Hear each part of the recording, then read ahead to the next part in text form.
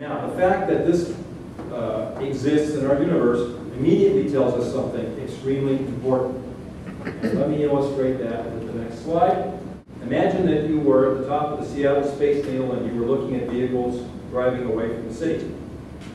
And imagine, for the sake of of discussion, that these vehicles all obey Hubble's law. That means that their velocity is going to be some constant times their distance. That's what we saw on the previous chart, Hubble's law.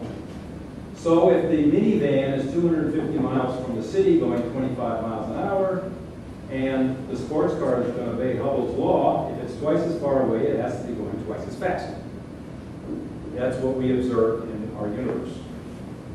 Okay, so think about what this looked like 10 hours ago.